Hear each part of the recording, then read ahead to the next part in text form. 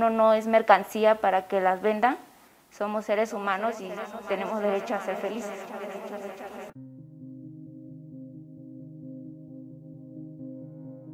Fui víctima de trata a los 14 años y me escapé.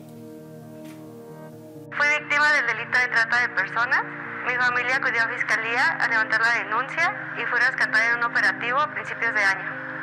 La fiscalía me canalizó a, una, a un refugio donde me dieron psicología, este, compartía, eh, bueno, convivía más que nada con algunas chicas que habían pasado lo mismo y nos llevaban a diferentes actividades. Tuve también doctores de, de todo tipo. Mi estancia en el refugio ha sido muy buena porque me dan atención psicológica, eh, he aprendido muchas cosas, también me gusta mucho pues compartir con las demás chicas que llegan en situaciones similares a las mías.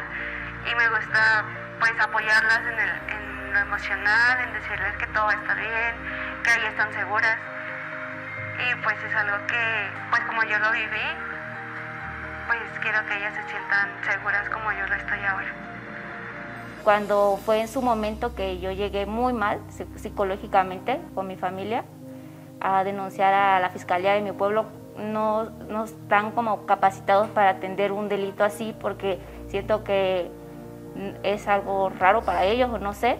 Y aquí no, aquí te, te sientes acogida por ellos porque te van apoyando, como, como que siempre están ahí o sea, no son como si fueran personas, sino como familia de que estamos aquí, no te va a pasar nada, tú puedes contarnos todo lo que tú quieras. Y... Vida ha cambiado mucho desde que la fiscalía me ayudó, me está ayudando, porque he crecido como persona.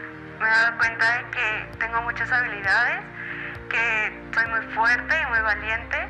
Este, también, pues que saliendo de, de todo esto, voy a tener un mejor futuro y una vida pues mejor, muchas cosas por delante y mejores que lo que ya viví.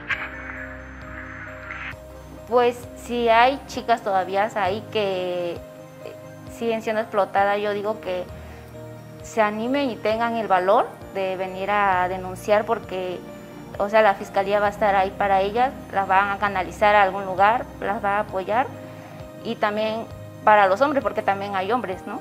Este, que los tratan y pues que se sientan que en realidad no, no hay corrupción como a veces te lo, te lo dicen, sino que sí hay este, leyes que van a aplicar, que va a aplicar la fiscalía y se van a, se van a hacer, se van a cumplir. O sea, es un, es un trámite largo, pero ellos siempre van a estar ahí para uno.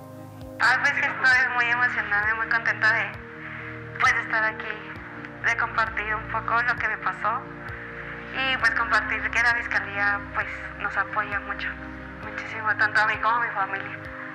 Estoy muy bendecida y muy agradecida y pues que Dios los siga bendiciendo a todos.